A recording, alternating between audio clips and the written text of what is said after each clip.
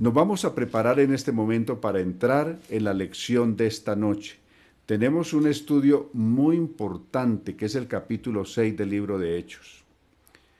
Eh, normalmente se ha tenido o se ha citado en el libro de los Hechos como el capítulo 15, el primer concilio de la iglesia. Pero si estudiamos cuidadosamente el primer concilio, y fue un concilio, o sea, una asamblea extraordinaria de la iglesia, se dio en el capítulo 6. El capítulo 6 recoge la primera gran asamblea de la iglesia para decidir algunos asuntos muy importantes. Entonces, por eso, y aquí también está el momento cuando presentan las acusaciones contra Esteban, el primer mártir del cristianismo, y también eh, todas las calumnias que inventaron contra él, cómo lo calumniaron, las acusaciones falsas que hicieron contra él, para poderlo llevar a que el concilio lo condenara a muerte. Entonces hay cosas muy importantes aquí que vamos a ver el primer problema que le tocó afrontar a la iglesia, eh, un problema que no venía de causas externas ni de ataques externos, sino que se suscitó en su interior. Era un problema que tenía que resolver eh, entre ellos mismos, es decir, que estaba afectando su sana convivencia de ellos como iglesia, como congregación y como pueblo del Señor y que se tuvieron que dedicar a resolverlo de alguna manera, bajo la dirección de Dios, encontrar una salida para esto. Normalmente las soluciones y las salidas a todas nuestras situaciones, Dios las tiene. Es Dios el que nos da las salidas y nos da la sabiduría para afrontarlas en el momento que viene. No podemos encerrarnos o desesperarnos diciendo frente a este problema, ¿qué voy a hacer? Dios siempre tiene la mejor salida y la mejor solución para cualquier situación que se nos presente. Eh, vamos a, voy a leer inicialmente uno, los primeros siete versos de este capítulo 6 del libro de Hechos. Pero con la rápida multiplicación de los creyentes empezaron las murmuraciones. Los que solo hablaban griego se quejaban contra los que hablaban arameo de que sus viudas sufrían discriminación en la distribución diaria de los alimentos. Para solucionar el problema, los doce convocaron a todos los creyentes a una reunión. Note, se convocó a todos los creyentes, era una asamblea de la iglesia. A todos los creyentes, verso 2, para una reunión y les dijeron, nosotros debemos dedicarnos a predicar y no administrar el programa de alimentación. Por lo tanto, hermanos, seleccionen entre ustedes a siete hombres sabios llenos del Espíritu Santo y que gocen de buen testimonio y pónganlos al frente de este trabajo. Así podremos nosotros dedicarnos a orar y a proclamar la palabra. La asamblea en pleno, aquí verso 5, era una asamblea, era un concilio. La asamblea en pleno aprobó las recomendaciones, es decir, las recomendaciones que hicieron los apóstoles. Y como resultado eligieron siete diáconos para hacer este trabajo que inicialmente lo venían haciendo los apóstoles, trabajando como si fueran, o haciendo las veces de ecónomos, eligieron a Esteban, varón lleno de fe y del Espíritu Santo, y también a Felipe, a Prócoro, a Nicanor, a Timón, a, a Parmenas, a Nicolás, que era un converso de Antioquía.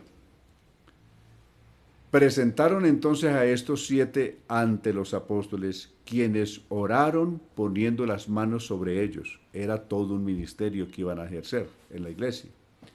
El mensaje de Dios seguía extendiéndose y el número de los discípulos aumentaba enormemente en Jerusalén, donde muchos de los sacerdotes judíos obedecían a la fe. Note lo que está diciendo.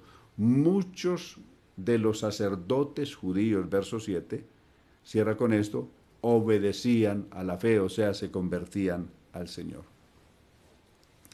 Bien, por ahora vamos a, a detenernos frente a este pasaje. Realmente, ¿qué pasó aquí? Aquí hay varias cosas a tener en cuenta. Una, la iglesia, todos hasta aquí eran judíos.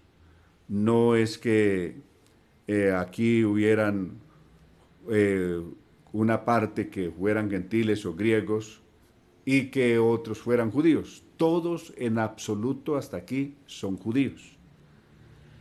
Los primeros gentiles se convertirán los medio gentiles o una mezcla de gentiles que habían en Samaria con judíos en el capítulo 8 y los otros gentiles gentiles se convierten en el capítulo 10. Pero hasta aquí, en los primeros siete capítulos del libro de los Hechos, toda la congregación aquí es judía netamente.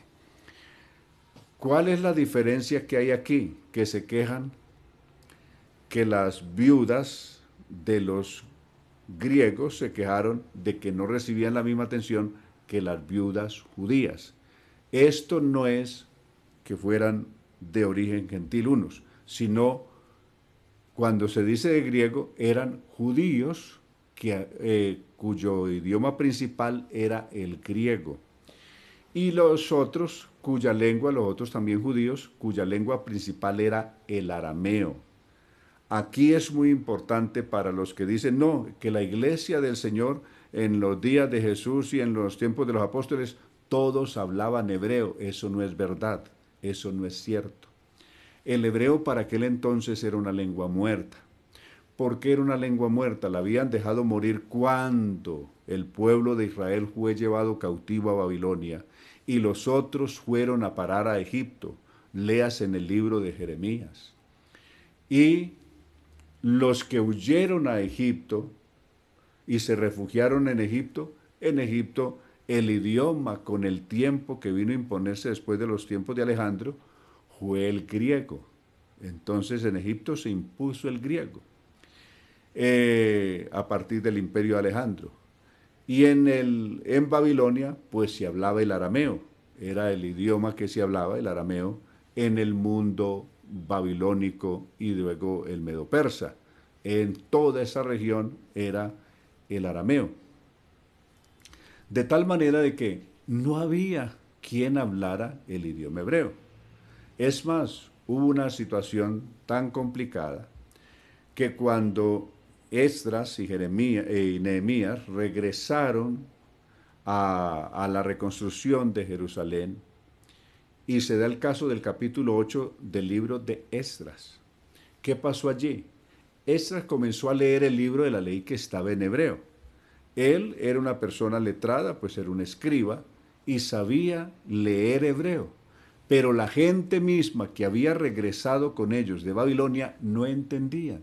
Y por eso tuvieron que nombrar entre el pueblo a traductores, a intérpretes, que les ayudaran a la gente a entender lo que estaba leyendo Esdras, porque no lo entendían, porque ellos no hablaban hebreo y el libro de la ley estaba en hebreo y Esdras lo estaba leyendo en hebreo. Y tuvieron que conseguirle intérpretes y poner en medio del pueblo, capítulo 8 del libro de Esdras. Entonces, para que no se les olvide. Y note lo que dice aquí este verso 1. Pero con la rápida multiplicación de los creyentes empezaron las murmuraciones. Estoy leyendo la nueva versión viviente.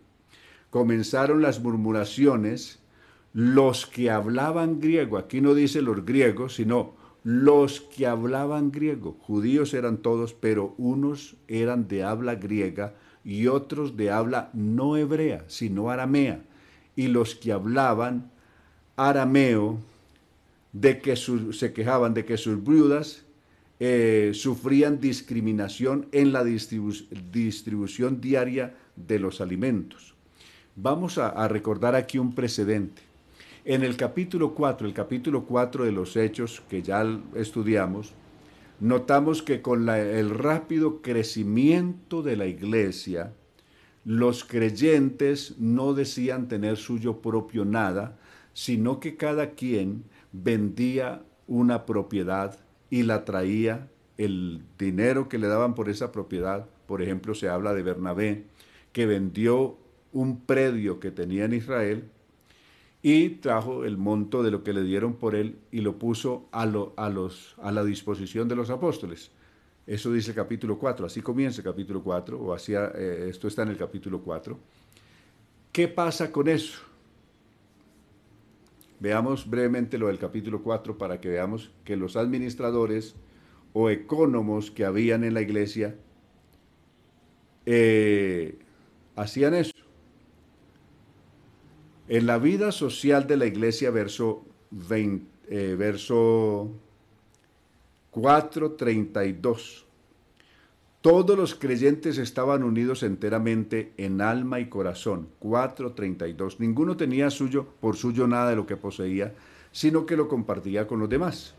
Y con gran poder predicaban los apóstoles acerca de la resurrección del Señor, y Dios les dio abundante gracia. No existía entre ellos ninguna necesidad o, necesitado, porque los dueños de haciendas o casas las vendían y entregaban el dinero a los apóstoles para repartirlo entre los pobres. Veamos ese verso 35. La, la iglesia inicialmente trajo los dineros, los aportes para la obra social, para atender a los necesitados, se la, esos dineros los trajeron a los apóstoles y eran los apóstoles los encargados de administrar estos dineros y hacer la distribución diaria para la atención de los más pobres. Eso dice el verso 35. Dice que los pusieron, estos dineros se los entregaron a los apóstoles para repartirlo entre los pobres. Entonces, hasta aquí los que hacían esta distribución, los, eh, los que administraban estos recursos, eran los apóstoles.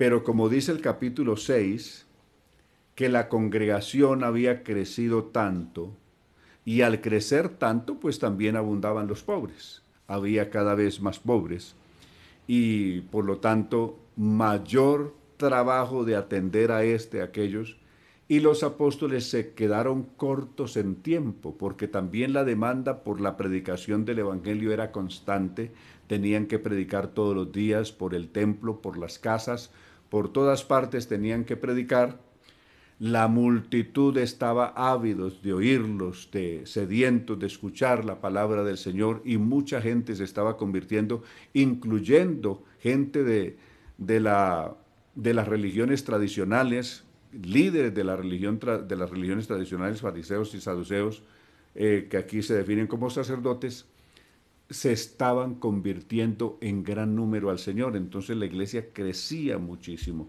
Al crecer tanto el trabajo se hace más dispendioso. Entonces vienen las quejas, la murmuración de, los, de la comunidad que hablaba griego, se quejan contra la comunidad que hablaba eh, arameo, de que sus viudas, las viudas de lengua eh, griega, no estaban recibiendo la misma atención que recibían las de lengua aramea. Entonces los apóstoles, viendo esta situación, entendieron que realmente este problema les superaba la capacidad y tenían entonces que convertirse en ellos en sabios administradores. Y un sabio administrador no es el que hace todas las cosas, sino el que sabe quién las sabe hacer y va y busca a esas personas que pueden, con sabiduría dada por Dios, hacer las cosas. Es decir, hace una delegación de responsabilidades. Nombra unas personas que tengan capacidades para que atiendan diversos frentes de la necesidad de la iglesia en su administración correcta. Entonces ellos lo que hicieron fue un sistema sabio de administración. Ya no podían ellos atender una carga tan grande y a la vez la oración y a la vez la predicación de la palabra de Dios, entonces nombrar un grupo experto que pueda atender todo lo que es la parte económica de la iglesia y ellos dedicarse sosegadamente a la oración y a la palabra de Dios y ya no seguir ellos con esa carga. Eso es lo que se hizo.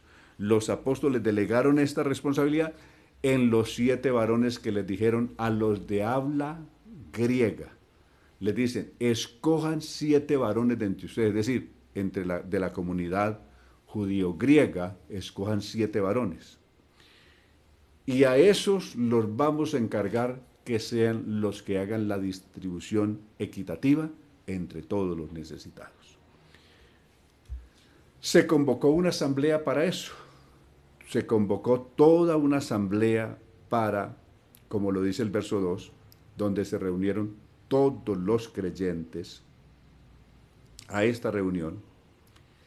Y los apóstoles hicieron el planteamiento, diciendo en el verso, en el verso, la final del, del verso 2, que no podían ellos o no alcanzaban ellos a ocuparse de la distribución diaria de, la, de, los recursos económicos para los pobres y también a la oración y a la palabra. Escojan entre ustedes siete varones, seleccionen entre ustedes siete varones para que se dediquen a hacer este trabajo. Versos 2 y 3.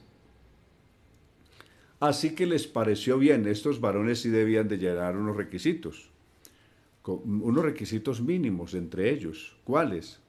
Que fueran hombres sabios. Primero, sabios. Es decir, que tuviesen, desde luego, la calificación. Que tuvieran las capacidades para eso.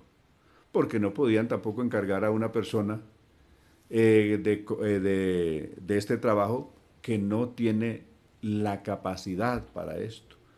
Había que escoger a personas bien preparadas, que aquí se llaman sabios, eh, y luego que fueran llenos del Espíritu Santo, y tres, que fueran de una excelente o impecable reputación, o la otra versión dice que fueran de buen testimonio. Y dice, a esos que ustedes escojan, a esos siete, les, dicen los apóstoles, ustedes pónganlos al frente de ese trabajo. Así podemos nosotros, así podremos nosotros dedicarnos a orar y a proclamar la palabra. Verso 5. La asamblea en pleno aprobó la recomendación y eligieron a Esteban, varón lleno de fe y del Espíritu Santo, y también a Felipe, a Prócoro, a, Nicanor, a Timón, a Parmenas, a Nicolás, que era un converso de Antioquía. ¿Por qué una, una parte de la comunidad de la iglesia hablaba griego y los otros arameo? Sencillo, para, volvemos un poco atrás, cuando eh, muchos fueron llevados, las tribus, las diez tribus fueron llevadas inicialmente por los asirios, eh, segunda de, Reyes capítulo 17, fueron llevados cautivos a las naciones, eh, dispersos por diversas partes, pero después de que los judíos, eh, los de Judea, que fueron llevados cautivos más tarde, volvieron de su cautividad a Israel, también muchos de los judíos de otras tribus que habían sido dispersas comenzaron a hacer su regreso también a Israel, de ahí que en los tiempos de Jesús habían ya judíos de todas las tribus de nuevo, habían en Israel, personas que habían venido, pero la mayoría de estos que regresaron, los que regresaron de, de Medo-Persa, pues hablaban arameo, y los que regresaron de las otras naciones, de Egipto, de lo que hoy conocemos como Turquía y Siria y de Egipto, pues hablaban arameo perdón, hablaban griego, hablaban griego y los otros hablaban arameo, pero eran judíos todos. Entonces, por ejemplo, el caso que veíamos, el caso de el caso de José, conocido como el justo, o del capítulo 4, 35, eh, o Bernabé, que pusieron como, le pusieron el sobrenombre Bernabé, quiere decir el justo, este hombre, recordemos que no había nacido en Israel. Él había nacido en Chipre. Era, es una isla, es otro país. Eh, otros que habían nacido en Alejandría, por ejemplo, vamos a encontrar. Este Nicolás, que era un judío, pero había nacido en Antioquía. Eso es lo que hoy es, eh, es una ciudad que queda entre Siria y lo que hoy es Turquía. Entonces, habían venido o estaban en Israel personas que habían venido de diversas partes de los países vecinos. Unos hablaban griego y otros hablaban arameo, pero todos eran judíos. Y, y por eso se hace la escogencia de ellos, así todos, la mayoría pues no pueden decir que han nacido en Jerusalén. Han nacido en diversas partes del, del imperio romano, pero estaban radicados por aquel tiempo en Jerusalén. Y esa es la situación que se da. Luego, mire lo que se va a dar, y esto, lo que vamos a ver del verso 8 en adelante, nos complementa lo que acabamos de decir de los judíos, que habiendo nacido en otros países, sin embargo, estaban asentados por aquel tiempo en Jerusalén, y a pesar de haber nacido en el mundo griego o en Egipto o en cualquier lugar, seguían siendo judíos. Verso 8 dice, Esteban lleno de la gracia y del poder de Dios, realizaba grandes milagros y señales asombrosas entre el pueblo. Recordemos que Esteban fue el primer diácono de los siete que fueron escogidos atrás para ser economo o para trabajar en la administración de los recursos económicos a favor de los pobres o a trabajar en la obra social.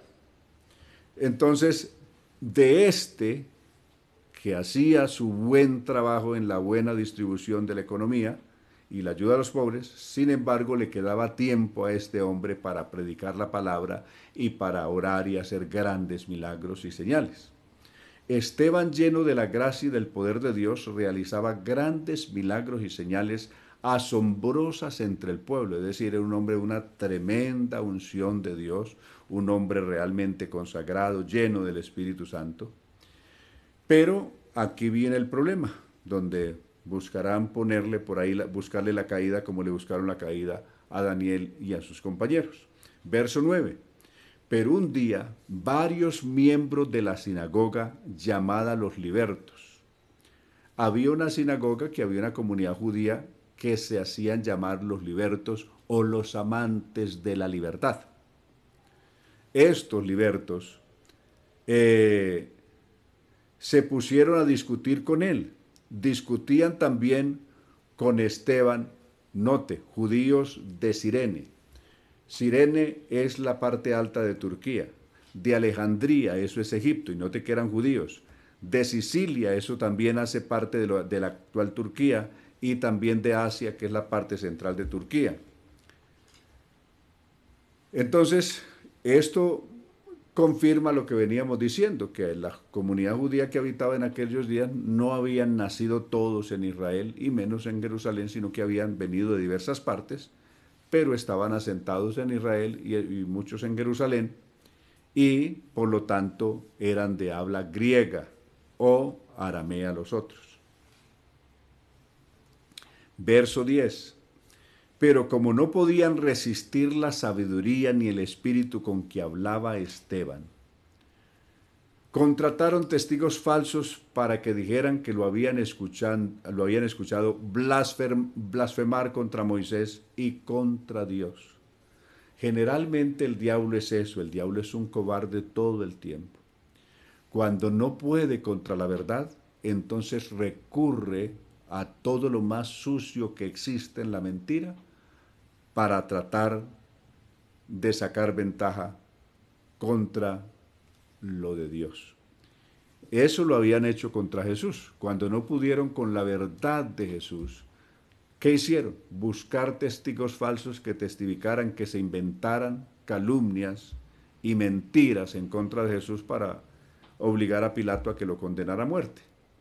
Eso, a ese mismo juego sucio recurrieron aquí, a buscar falsos testigos que testificaran lo que no era para nada verdad contra un hombre santo, justo y lleno del Espíritu Santo como era Esteban. Para decir que a este hombre hemos escuchado que blasfema contra Moisés y blasfema contra Dios o contra la ley de Dios. Verso 12. Tal acusación encendió los ánimos del pueblo y de los ancianos y de los maestros de la ley contra Esteban. Lo arrestaron y lo presentaron ante el concilio, es decir, se reúne otra vez el concilio, aquel mismo concilio que se había reunido para condenar a Jesús a muerte, el mismo concilio que se había reunido en los capítulos 3 y 4 para azotar a los discípulos, para prohibirles hablar en el nombre de Jesús, en fin, ese mismo concilio se reunió para eh, escuchar las acusaciones que habían contra Esteban y para proceder a condenarlo a muerte. Verso 13. Allí una vez más los falsos testigos afirmaron que Esteban no cesaba de hablar contra el templo y la ley de Moisés. Decían estos falsos en su testimonio, verso 14, les oímos decir, declararon, que Jesús de Nazaret destruirá el templo y cambiará las leyes de Moisés. Recordemos que esta acusación ya la habían hecho contra Jesús.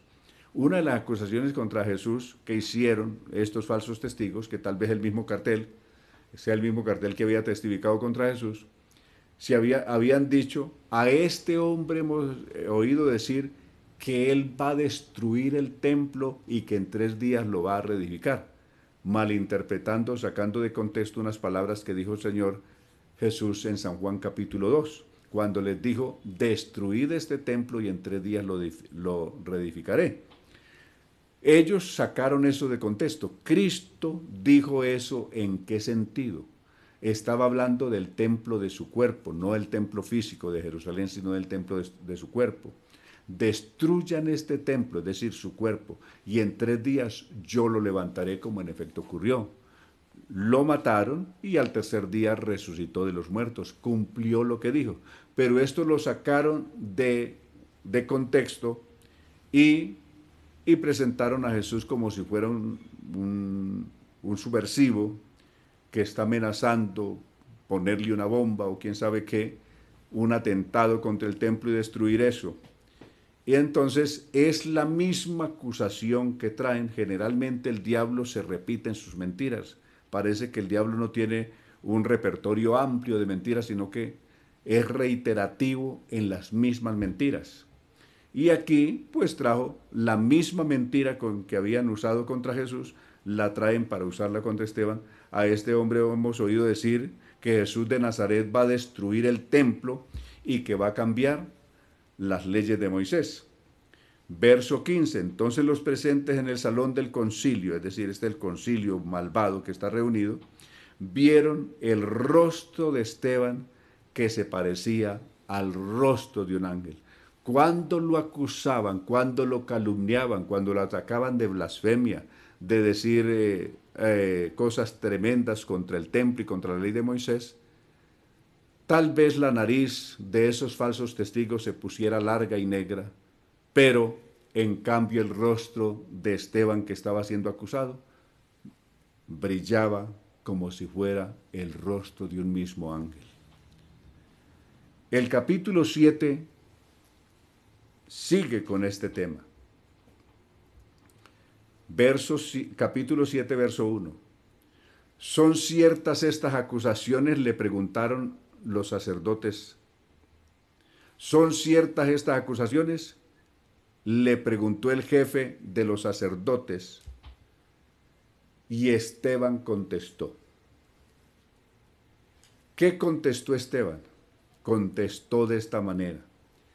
Tal vez el sermón mejor hecho, homiléticamente mejor organizado que exista en el libro de los hechos y tal vez en toda la historia de, de la iglesia el sermón homiléticamente mejor organizado, mejor hecho, es este gran sermón de Esteban.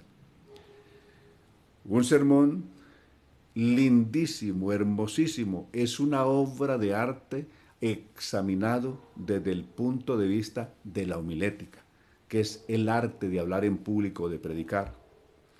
Y aquí note el más lindo sermón. Hoy por hoy solamente haremos una introducción de él por cuestión de tiempo, lo continuaremos en la voluntad del Señor, si el Señor lo permite, el próximo lunes. Pero aquí está la introducción de esta pieza extraordinaria que debe de ser un modelo para todo el tiempo, para cada predicador, para cada servidor, para cada persona que desea realmente preparar un sermón, no aprenderse un sermón. Muchos predicadores luchan por aprenderse en un sermón. Aquí no se trata, en la Biblia no se trata de aprenderse un sermón, sino de aprenderse la Biblia. Si nos aprendemos la Biblia, tendremos todos los sermones que necesitemos. Si solamente nos aprendemos un sermón, predicaremos el mismo sermoncito 100 veces, 150 veces el mismo sermoncito. Algunos tienen solamente una listica de, de unos cuantos sermones puestos en una agenda. Y el día que se les acaba la, la agenda, pues entonces tienen que pedir que los trasladen para otra parte porque ya se les acabó el, la agenda, ya se les acabó lo que tenían, el repertorio que tenían y ya no tienen más porque solo estudiaron o se aprendieron sermoncitos. No se trata de aprendernos sermoncitos, se trata de aprendernos a tener una conexión con Dios y que Dios sea el que suministre según la necesidad nuestra y la del pueblo todos los días el pan conforme a la necesidad y no simplemente reiterarnos repitiendo sermoncitos. Hay algunos que se, que se dedican a predicar, digo en términos generales, porque como digo esto aquí, eh, decimos las cosas abiertamente como son. Y las decimos desapasionadamente, pero las decimos como son. Hay algunos que se aprenden un sermón que otro predicó hasta en qué momento si el predicador tose, ellos tosen también, en qué momento se quita el saco, ellos se quitan también el saco. ¿A dónde cuelga el saco? Pues va y también y lo cuelgan de la misma manera. ¿Dónde pega un brinquito el predicador? Y ellos hacen lo mismo y van cronometrando en qué momento, más o menos en qué tiempo, hay una habladita en lenguas y, y hay unos brinquitos y en qué momento hay un grito, en fin. Esos son cosas eh, que diríamos vacías simplemente están haciendo una copia, una réplica de, lo que hizo otro. Pero ellos realmente no tienen nada que presentar. El que está copiando un sermón de otro está diciendo, yo no tengo nada que presentar y tengo que buscar por ahí a ver qué, qué, me aprendo de otro para poderle presentar a la gente. No, no nos aprendamos un sermón, aprendámonos la Biblia, aprendámonos la palabra del Señor. No estudiemos sermoncitos, estudiamos la palabra de Dios y eso es mucho mejor. Este hombre, Esteban, él no estudiaba sermoncitos. Él estudiaba la palabra de Dios y por eso el gran recorrido que este hombre hace por todas las escrituras demuestra de que el hombre no era un aprendiz de sermones, sino un amplio conocedor y estudiante de la palabra de Dios qué es lo que hoy se necesita. Una persona que sepa la palabra de Dios y no que simplemente sepa un sermoncito. He aquí, este es la pieza hermosa que encontramos en este primer sermón, en este sermón del primer mártir del cristianismo. Y Esteban contestó, aquí está la introducción de su sermón. Hermanos y padres, escúchenme. Padres, ¿por qué los llama padres? Pues porque ellos eran los, los, las autoridades religiosas del pueblo, por eso los llamó así, por respeto, por deferencia a las autoridades religiosas del pueblo. Hermanos y padres, escúchenme, el Dios de la gloria se le apareció a nuestro antepasado Abraham en Mesopotamia antes de que éste se trasladara a Harán. La otra versión dirá Harán, esta dice Harán. Y le pidió que saliera de su tierra natal, se despidiera de sus familiares y emprendiera viaje hacia una tierra que Dios le mostraría. Salió entonces Abraham de la tierra de los caldeos y vivió en Harán hasta la muerte de su padre. Luego Dios lo condujo hasta esta tierra donde ustedes viven ahora. Pero no le concedió que poseyera en ella ni el más mínimo pedazo de terreno. En cambio le prometió que él y que de, él y de sus descendientes poseerían todo aquel país. Génesis capítulo 12 está citando, este hombre está citando la parte final del capítulo 11 de Génesis y el capítulo 12 en su forma inicial. Y Abraham no tenía hijos. Sin embargo, Dios le, le dijo que sus descendientes saldrían del país rumbo a una tierra extraña, está citando Génesis capítulo 15, donde pasarían 400 años sometidos a esclavitud. Esto está en el capítulo 15 de Génesis. Pero yo castigaría a la nación a que los esclavice, añadió Dios, y mi pueblo regresará de ese lugar. Está hablando de la salida del pueblo de Israel de Egipto. Esto está en la provisión del pacto que Dios hizo con Abraham en el capítulo 15 del libro de Génesis. Y me adorarán aquí, en este lugar. Dios hizo con Abraham el pacto que tenía como señal la circuncisión, Génesis capítulo 17. Y así Isaac, el hijo de Abraham, fue circuncidado a los ocho días de nacido. Lo mismo hizo Jacob, eh, lo mismo hizo con Jacob, e Isaac con Jacob, Jacob con los doce patriarcas. Estos últimos, eh, los doce patriarcas, llenos de envidia, vendieron a José como esclavo, es decir, once se pusieron de acuerdo en vender a José como esclavo. Eh, Génesis capítulos 37, Génesis capítulo 37 está citando.